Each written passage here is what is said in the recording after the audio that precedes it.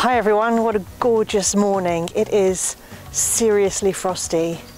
Um, it's crisp and if I stand still too long, my shoes are sticking to the grass because it's so icy.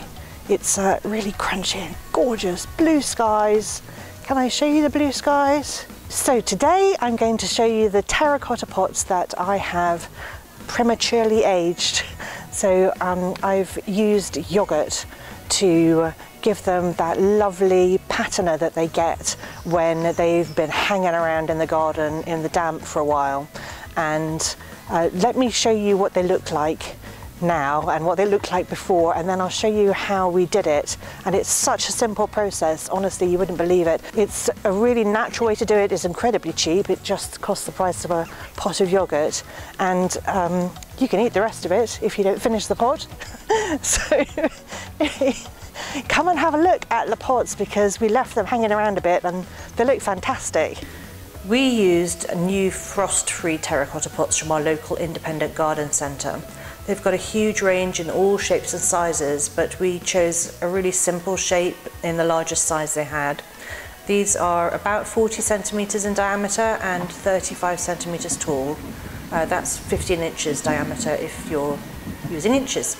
As you can see, they started life in this bright orange colour and although it looks smart, I think it screams, look at me, I'm brand new um, and I didn't want that. I'm not planning to use these pots for permanent display, but mostly for growing cut flowers, but I still wanted them to look pretty, so I decided that they'd look better if they were aged.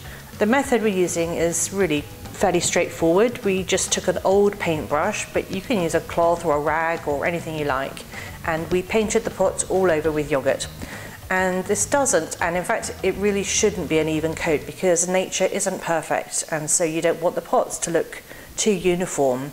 Like many things, um, terracotta pots take on character as they age and the clay darkens, but it also gets this whitish mottling from fertilizers and the minerals in water. And when the pots are kept in the shade and damp, they'll gradually become covered in like a greenish patina of algae and moss.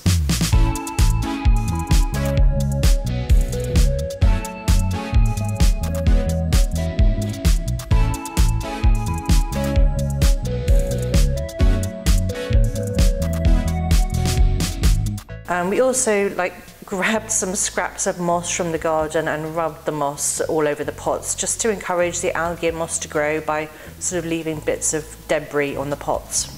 These pots are going to have our tulips in this year because we've got this huge problem in our garden where the badgers sniff out all the tulip bulbs and dig them up. They literally munch through them at night. So the only way we can successfully grow tulips is to grow them in pots heavily protected with chicken wire, which I'll show you if you keep watching to the end of the video.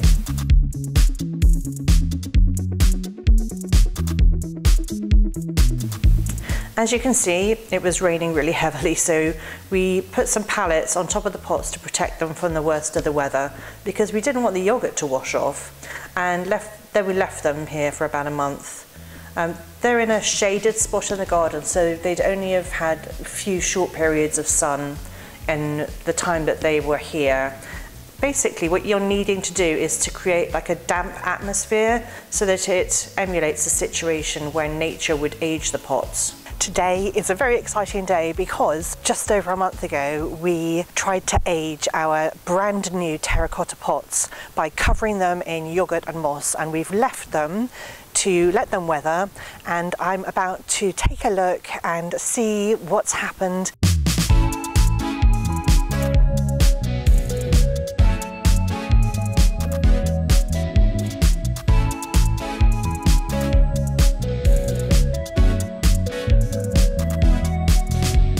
This is so cool. They look like they've been here for ages. They've got little bits of white speckling and of moss still stuck on that bit. This is amazing. Wow, they've even got some damp inside, but some are quite black, but I actually don't mind that. They look really good. Time to pot up my tulips. I am absolutely thrilled.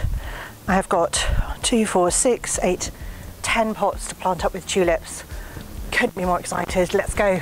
So the mix we used for the pots is two thirds of peat-free compost to one third of grit. We planted the tulips quite densely because they'll only stay in these pots for one season and then they'll be planted out in the garden next year. Even though most growers recommend planting tulips at twice the depth of the bulb, we planted them at about three depths of the bulb because if planted deeply, tulips are less likely to try and reproduce and make little mini bulbs and they're more likely to flower year after year. So just make sure none of your bulbs are touching um, you need to sort of put them, people call it like an egg box method, so you sort of scatter them at the distance they would be if you had them in an egg box and plant the tulips with the pointy side facing upwards. We covered the bulbs with the same mixture of compost and grit that we used to fill the pots um, we didn't use any crocks or stones for drainage in the bottom of the pots. If your pots have got one or more drainage holes, then crocks just aren't necessary. But we did make sure the compost in the pots had good drainage because tulips really need effective drainage so that the bulbs don't rot. Um, tulips don't generally come back as large or as bright after their first season. So it can kind of be hit or miss if you replant them. So what we do is we scatter the bulbs um, after their first year, we scatter them in areas of the garden where they're not going to be like a feature and also where we don't mind if the badgers dig because the badgers can make a really big mess and wreck you know, your nice smart beds. And then we added some chicken wire.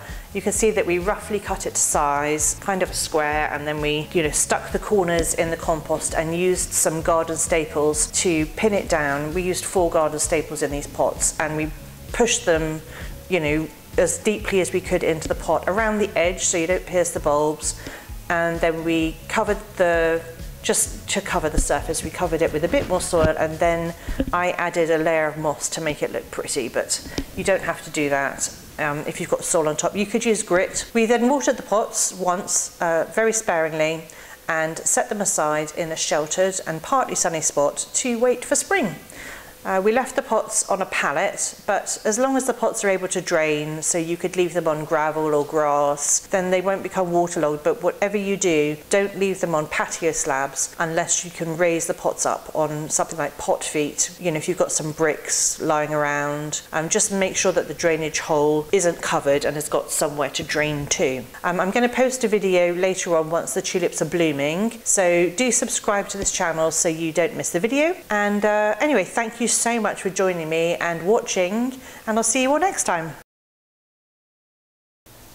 I need to start that again. There.